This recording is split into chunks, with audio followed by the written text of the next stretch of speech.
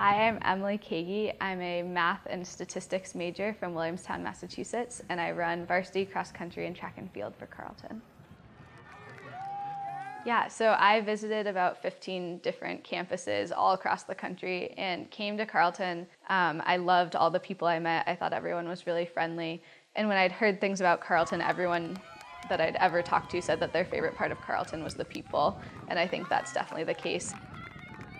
Um, my favorite part of being on the team is definitely my teammates and the fact that we're a family. And that's not just the women's team, it includes the men's team as well. We're really close as teams. And so it's really nice to have this giant group of people that I'm friends with.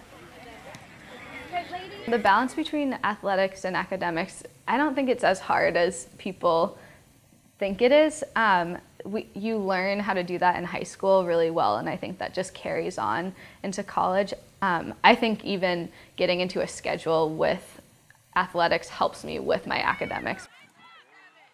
Going to nationals is just a really amazing experience. You're standing on the start line with all these other athletes who are just at the top of their season and the top of athletic ability in the country. And it can be overwhelming because you get off the start line and everyone just sprints, and you may be running a personal record, but you're like at a hundredth in the race, which is pretty crazy. But as you're in the race, there there are moments where you just think about and you're like, wow, I'm competing against the best in the country and this is pretty awesome.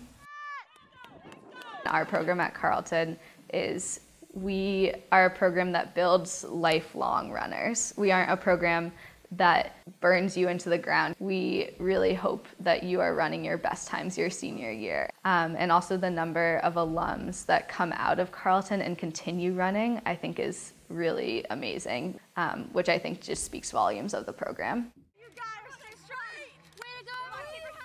I think that kind of the whole college process, I would have wished that someone had told me that um, a lot of the things that you think are going to matter when you're looking at schools don't matter.